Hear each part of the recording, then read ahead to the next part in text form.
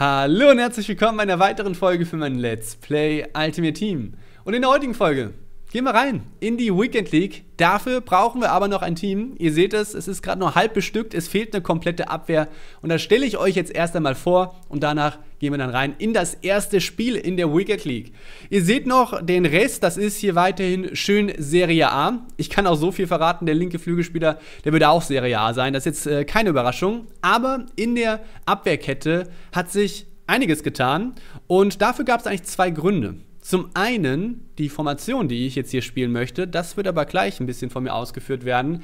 Aber dann auch ein anderer Grund war, das waren alles Goldspieler eigentlich, die ich hatte. Ich hatte ja hier PSG, Innenverteidigung und Torhüter mit Donnarumma, Kimpembe und Marquinhos, dann noch Hakimi, weiterer PSG-Spieler und dann links Theo Hernandez.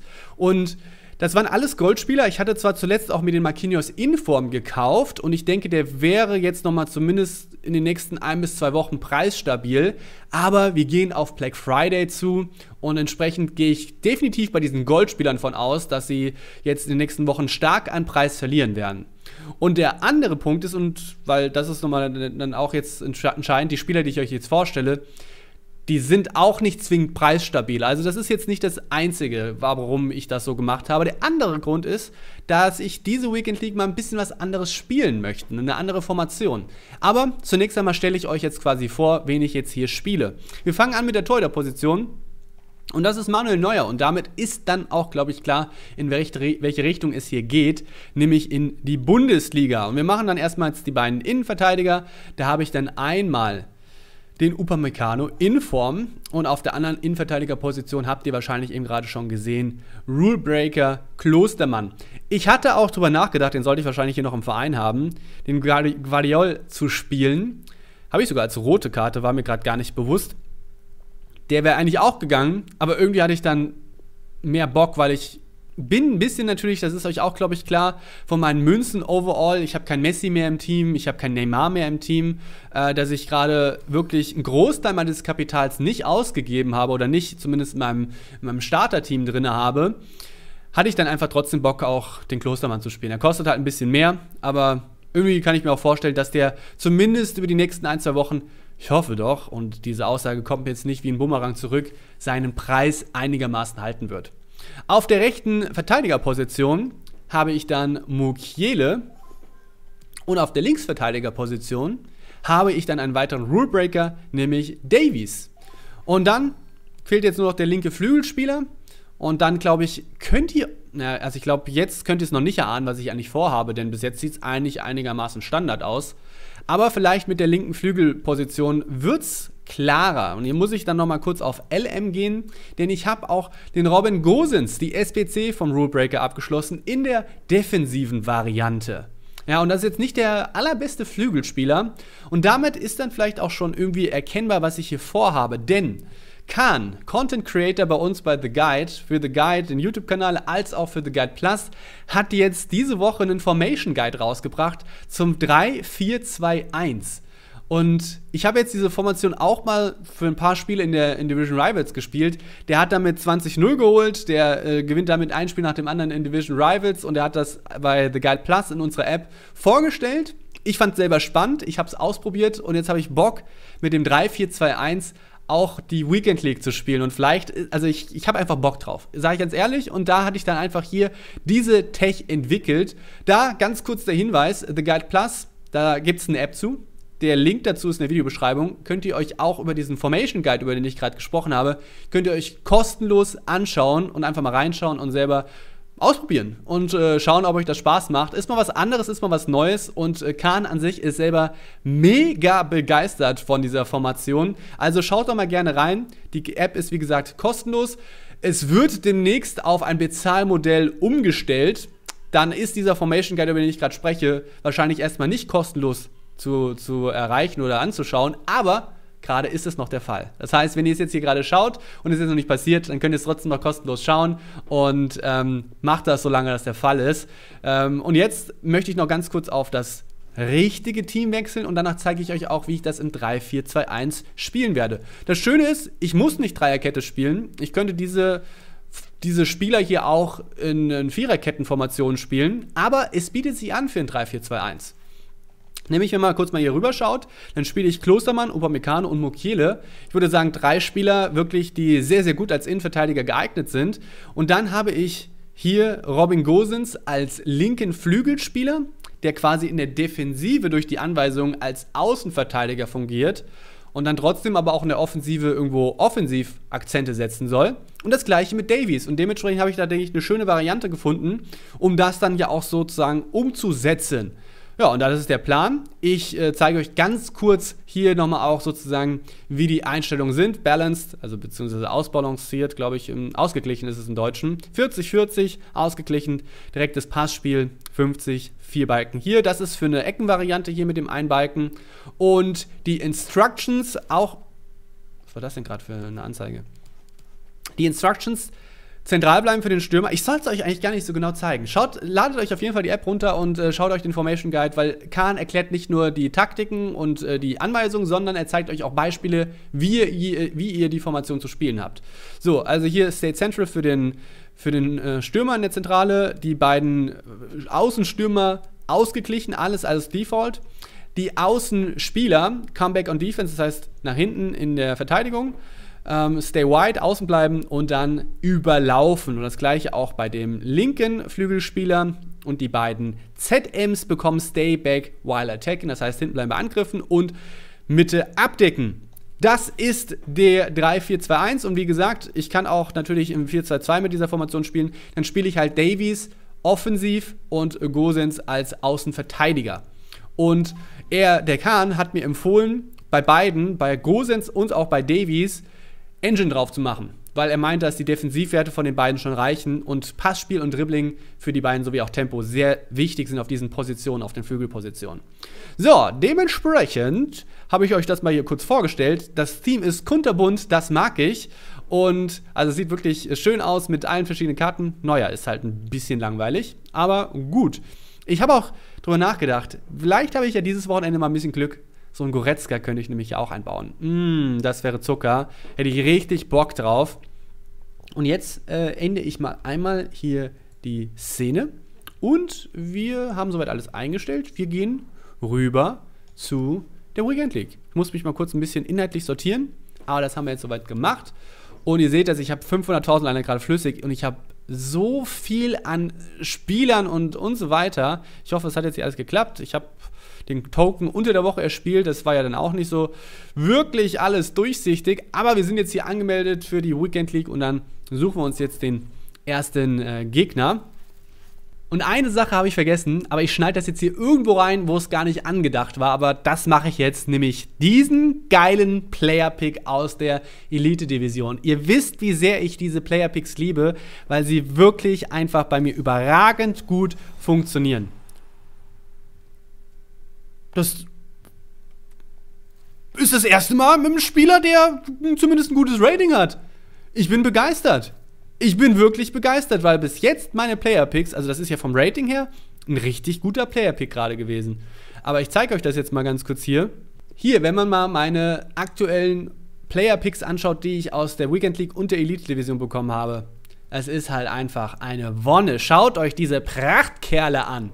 Ne? Also, das sind die besten Spieler. Und dann habe ich auch noch die hier. Lecker.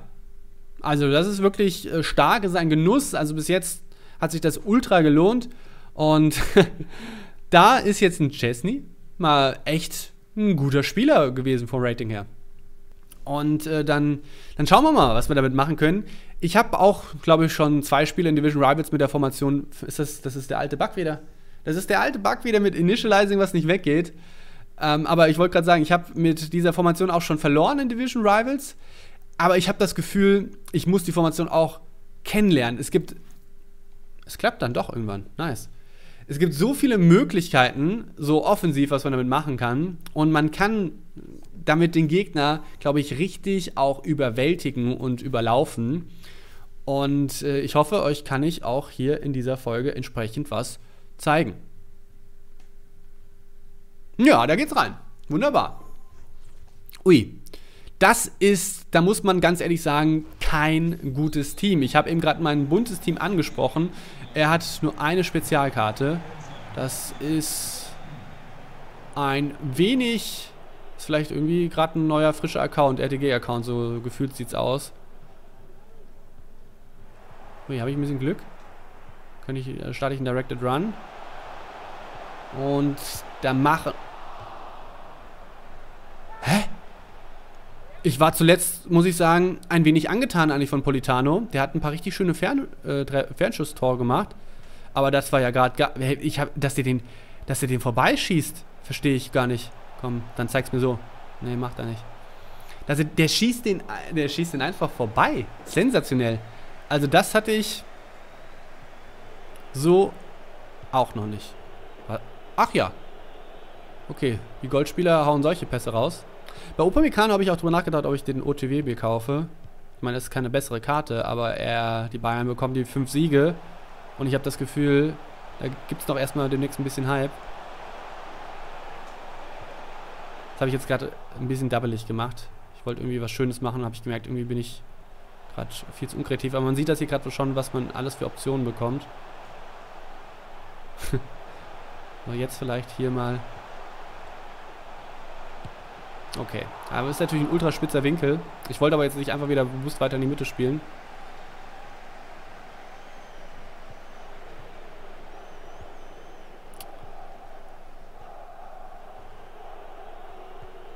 Einfach abgefangen.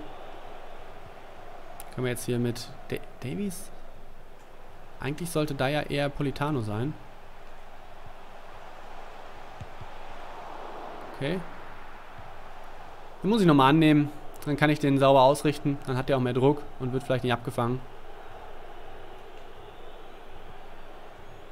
Ich tue mich gerade, also ich bin nicht sonderlich effizient. Hier seht ihr jetzt hier, dass es quasi in der Defensive wie eine Fünferkette ausschaut. Mit Davies dann. Oh, geiler Ball. Stark, stark. Also kann ich nichts sagen. Ich habe mich unglaublich dabbelig bis jetzt angestellt. Und der Gegner mit seinem ersten, also ich glaube, das ist das erste Mal, dass er in meiner Hälfte ist nach 15 Minuten, macht er so einen Ball und macht den Treffer. Nicht schlecht.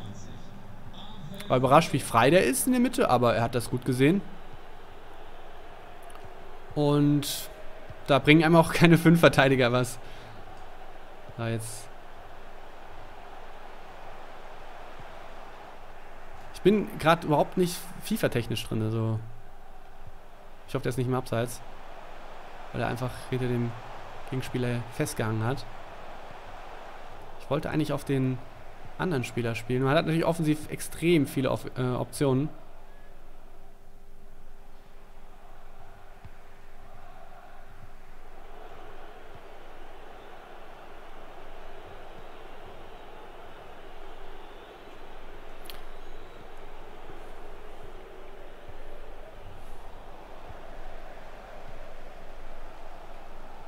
So, jetzt müssen wir umschalten quasi von einer, dieser Dreierketten, äh, von der, von der Fünferkettenformation auf die Dreierkette.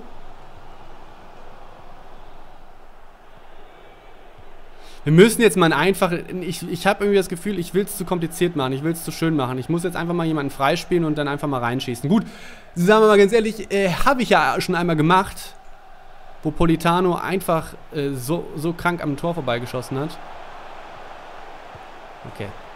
Sehr schön. Auch mal ohne druckvollen Pass gelöst. Auch mal interessant. Kann man auch mal machen.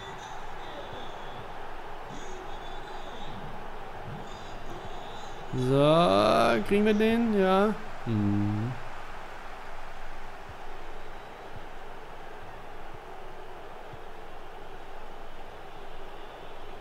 Den nehmen wir. Guck mal, den können wir schön spielen. Schöner Directed Run auch.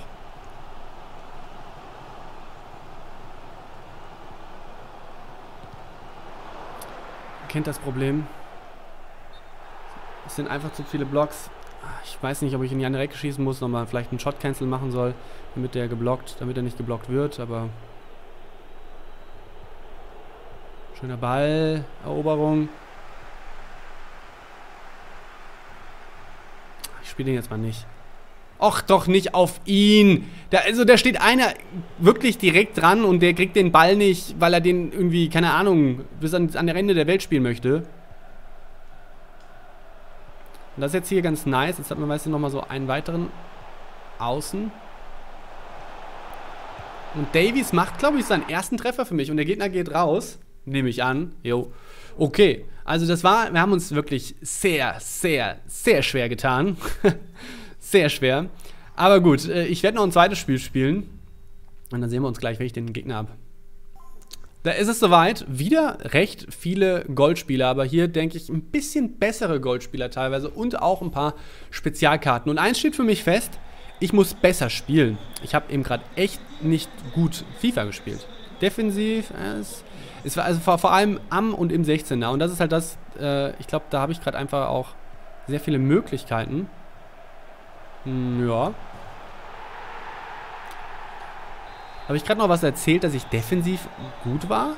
Ich habe gerade gar keinen Zugriff bekommen. Sick. Warte mal. Warum spielt denn Davies gerade noch hier auf der Links? Also ich habe doch die Formation schon umgestellt. Es ist Anstoß gemacht. Warum, warum bin ich hier noch in der Viererkette? I don't fucking get it. Ich glaube, jetzt bin ich in der Dreierkette.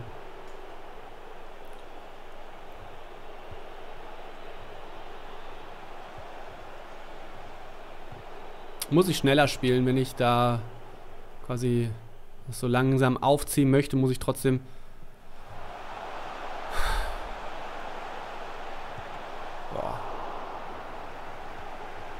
Habe ich gerade Glück gehabt, dass ich dann nicht noch irgendwie Fehler gemacht habe. Ein starker Ball auf jeden Fall vom Gegner, kann ich nichts sagen.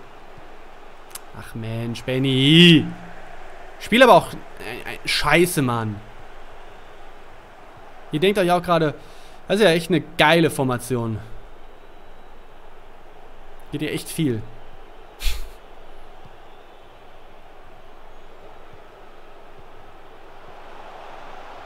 Okay, schön. So, und da seht ihr, was das für es offensiv für Möglichkeiten gibt. So viele Spieler auch im 16er.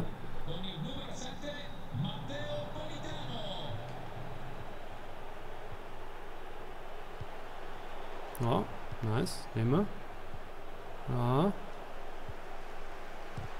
Boah, kann ich nochmal einfach gehen?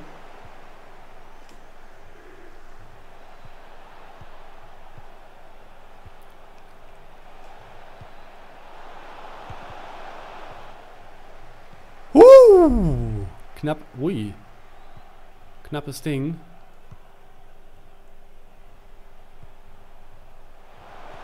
What the fuck?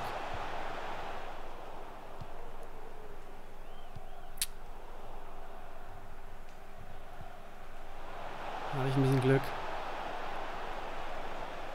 Ah, ich bin ich bin, ich, ich bin, ich weiß ehrlich gesagt nicht, warum der hier auf den Boden fällt.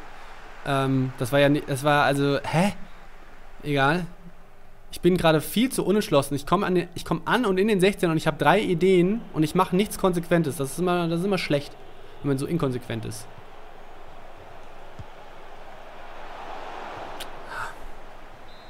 Machen wir mal meine Eckenvariante.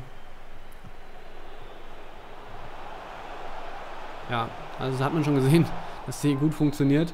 Auch da gibt es so, äh, auch ein Tutorial-Video bei The Guide Plus, wie die funktioniert.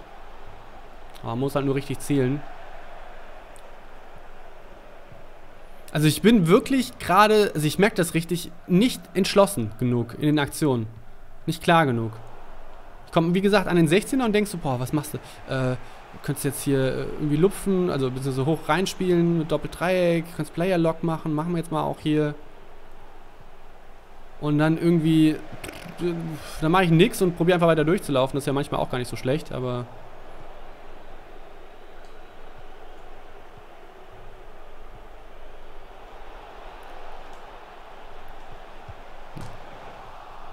Fand ich eigentlich... Ach, Mann.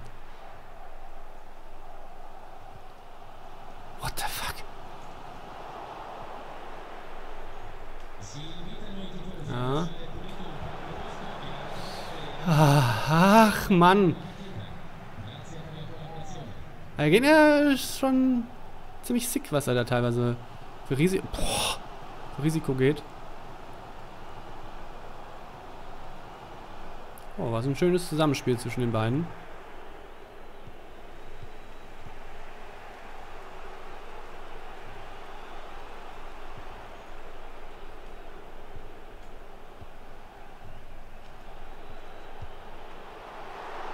Muss ich wahrscheinlich annehmen. Einer der wenigen Bälle, in FIFA 22, wo man, wo es besser gewesen wäre, den anzunehmen.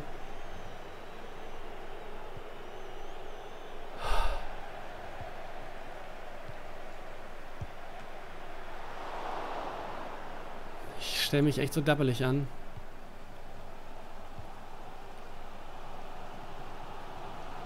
Aber, also mein, der Gegner kommt ja generell, also in beiden Spielen jetzt sind jetzt vielleicht auch dann ähm, nicht die stärksten Gegner, aber ich habe das Spiel, ich, also ich, ich kontrolliere das Spiel komplett. Ich mache ja komplett das Spiel, aber ich bin echt offensiv.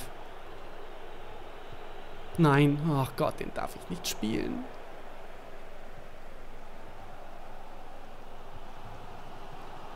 Gegner spielt er sehr konterlastig. Na gut, müssen wir mal einmal sauber kontrollieren. krank, krank, wie der sich bewegt, dass er quasi nicht anspielbar ist. Nee. Ach, das gibt sogar noch faul, Alter. Meine Güte. So unnötig. So, wir kontern jetzt hier schön. Oh.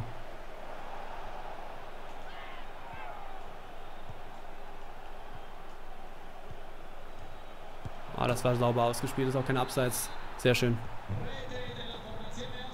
das war nicht schlecht mit der Grätsche von ihm. Der wusste, was ihm da blüht. Kein Foul, nice. Naja, gut, kann man mal versuchen. So, wir kriegen sogar noch den Einwurf und damit denke ich eine Chance auf den letzten Angriff. Na, jetzt nicht mehr. Jetzt wird er... Achso, sogar... Boah. Okay, doch, doch, doch. Oh nein, wie schlecht! Ich bin so kacke gerade in der Verteidigung. Wie, wie verteidige ich das? Ich habe halt safe damit Ach Mann, ist das schlecht. Es ist so schlecht von mir verteidigt. Wirklich. Abartig schlecht. Boah. Ich meine, klar, äh, ich habe hier 3,2 Expected Goals und der Gegner nur 0,9, aber ich habe zweimal so schlecht verteidigt und er hätte sogar 2-0 in Führung gehen können. Boah. Also wirklich, so abartig schlecht. Mir fehlen ja die Worte für, wie, wie schlecht ich das gerade verteidigt habe. Mann, da, bringe ich mich so meine, meine verdienten Lorbeeren mühen. Keine Ahnung, wie man es genau bezeichnet. Das nicht im Abseits? Bitte nicht im Abseits sein? Krank, dass dieser, also das ist, das ist ins fucking insane, dass ich diesen Ball nicht abgefangen bekomme.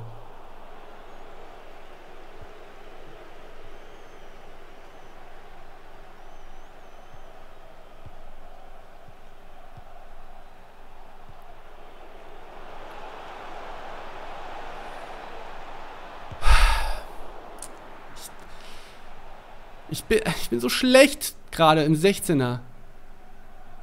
Mut, nicht mutig genug. Danke.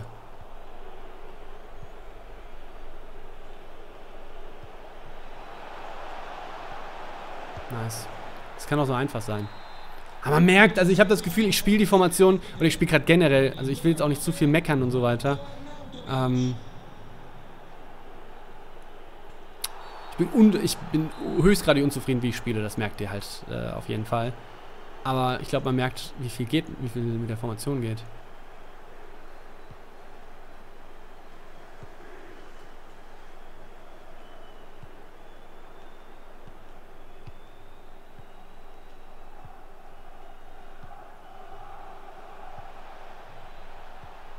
Weil ich habe eigentlich in den letzten Tagen, wenn ich gespielt habe, finde ich echt geiles FIFA gespielt. So war sehr zufrieden damit, wie es gelaufen ist. Und ich kann's, und deswegen bin ich so unzufrieden, weil ich krieg's halt echt hier nicht auf den Rasen gerade. Ah, da wäre es halt echt nicht verkehrt, wenn er, er muss, er muss nur einen halben Schritt mir entgegenkommen und sich nicht hinter dem Gegner verstecken. Oh, lauf doch weiter. War sogar ein rotes Time Finish, weil er nochmal so einen Verzögerungsschritt macht. Sollte ich dann vielleicht auch nicht timen in so einer Situation. Okay. Spieler kurz rufen. Ein Balken ist wichtig. Kurz spielen. Druckfall an den 16er. Und rein das Ding. Und schade. Leider nicht frei gewesen. Wir müssen hier noch einen vierten Treffer machen. Wäre nicht schlecht. Solide, mein Freund. Mit Kimpembe.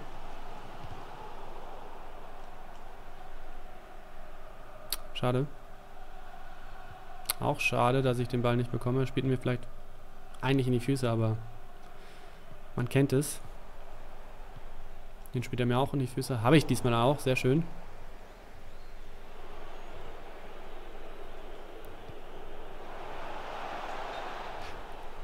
Wie ist der Abseits?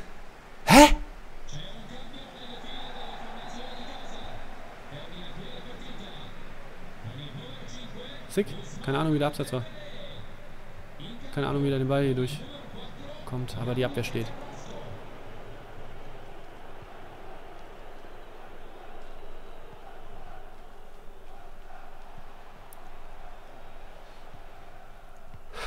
Vierter Treffer. Ich wäre ultra beruhigt, weil ich habe mir schon so zwei richtig simple Gegentreffer gefangen.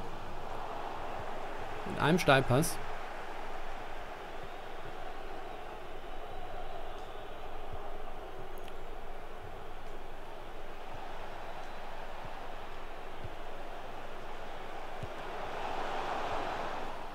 Hm, ich bin genug vom Tor.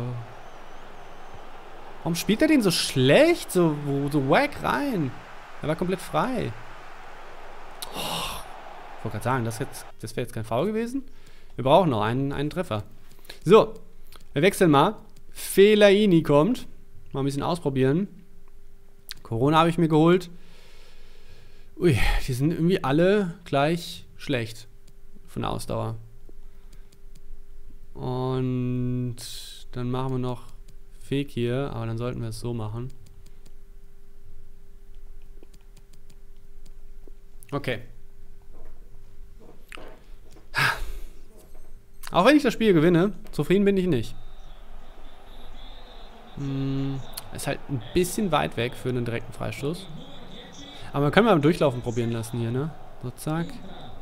Und wir machen es mal so. Guck mal, das sieht auch ganz, gar nicht so verkehrt aus. Oh Gott. Danke. Anatovic gefällt mir jetzt auch immer, immer besser.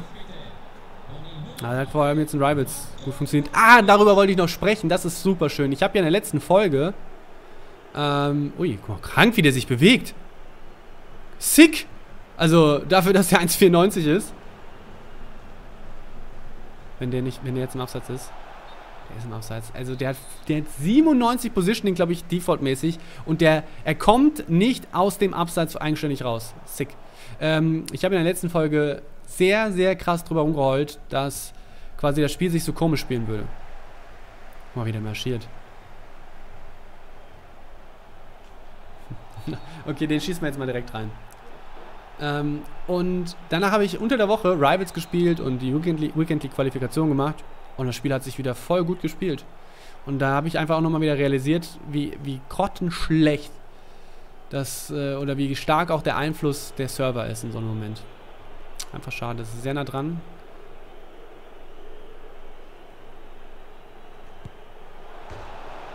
Ha. Schönes Ding eigentlich. Komm, ich probiere mal hier so ein äh, Cross-Finesse. Habe ich auch ein paar schöne schon gemacht. Ähm, ja, und von daher war ich auch da in der Hinsicht, will ich mal gucken, wie es da mit dem 3-4-2-1 ist, weil in Rivals mit einer guten Connection, so mit einem guten Spielerlebnis, hat es mir Spaß gemacht. Kann natürlich sein, dass wenn es so ist wie letztes Wochenende und ich fand es wirklich das, was ich genau beschrieben habe, ich habe das dann nochmal für mich bestätigt gefühlt. Das ist ein Abseits. Ähm, mal gucken, wie es dann jetzt in der Weekend League ist, ob es dann einfach diesmal besser ist von dem Spielgefühl. Und falls nicht, wie es dann mit dem 3-4-2-1 hinhauen kann.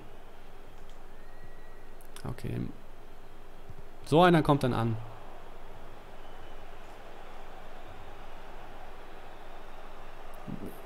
Ich habe, weiß ich nicht, war ein X eingedrückt äh, beim Player Lock und er macht es einfach nicht. Ist äh, manchmal doch ein bisschen buggy, ne? Oh, der ist jetzt im Abseits. Schade. Sollte eigentlich ein Offside sein. Ist er nicht? Okay, dann machen wir den Treffer so. Und ha, ich gewinne beide Spiele. Richtig zufrieden bin ich nicht. Aber ich groove mich ein und äh, irgendwie war es heute, heute war so ein bisschen der Wurm drin.